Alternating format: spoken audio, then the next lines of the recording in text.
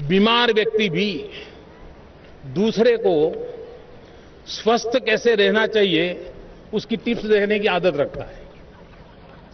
खुद तो अपना संभालता नहीं है, लेकिन हर हर इंसान को स्वभाव होता है। तुम तुम ऐसा करो, ठीक हो जाओगे, तुम वैसा करो, ठीक हो जाओगे।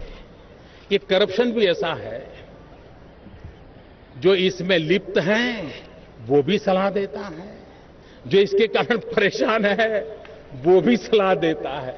मैंने कभी ये घोषणा नहीं की है, लेकिन आज मैं हिसाब देना चाहता हूँ। मैं देशवासियों को विश्वास दिलाना चाहता हूँ। मैं सवा सौ करोड़ देशवासियों की टीम इंडिया को कहना चाहता हूँ कि ये देश भ्रष्टाचार से मुक्त हो सकता है। इतने बड़े देश में भी भ्रष्टाचार रूपी दिमक से मुक्ति के लिए अनेक प्रकार के कोटि कोटि प्रयासों की आवश्यकता है। और उसे किया भी जा सकता है। मैं एलपीजी गैस सब्सिडी पंद्रह हज़ार करोड़ रुपया कट करने वाला हूँ। तो मैं दावे से कहता हूँ, हिंदुस्तान में इस सरकार की वाहवाही के सैकड़ों लेख लिखे गए होते कि मोदी बड़ा दम वाला है कि उसने पंद्रह हज़ार करोड़ रुपए की गैस की सब्सिडी को बंद कर दिया। ये आदमी है जो बड़े कठोर निर्णय कर सकता है।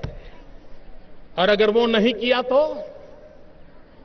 यार, कुछ होता नहीं है।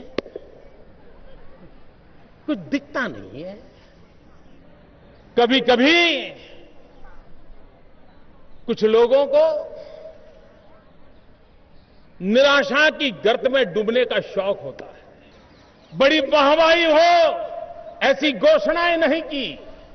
व्यवस्था में सुधार किया और मैं आज मेरे सवा सौ करोड़ देशवासियों की इंडिया टीम को कहना चाहता हूँ, इसके कारण